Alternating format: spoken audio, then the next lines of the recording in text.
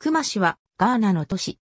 首都のアクラに次ぐ大都市でアシャンティ州の州都である。2013年の人口は約206.9万人。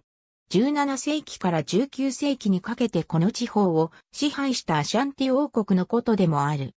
クマ市はガーナの熱帯雨林地方に位置しており、庭園都市としてもよく知られている。多彩で美しい植物が数多く生息しているのが庭園都市と呼ばれるゆえんである。1695年、アシャンティ王国の首都として建設される。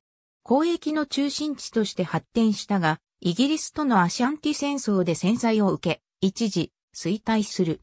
その後、アシャンティ地方がイギリス領となると、地域の中心として徐々に復興していった。1925年のクマ市とアクラの北西、約 200km の内陸にある。約 30km 南東にボスムトゥイ湖がある。ボスムトゥイ湖、欠片の気候区分でサバナ気候に区分される。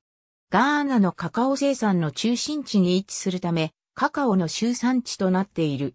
また、周辺の近郊も重要である。工業では、金属加工、製材、家具製造などの小規模な工場が多い。首都のアクラとタコラディを結ぶ鉄道が通っている。ありがとうございます。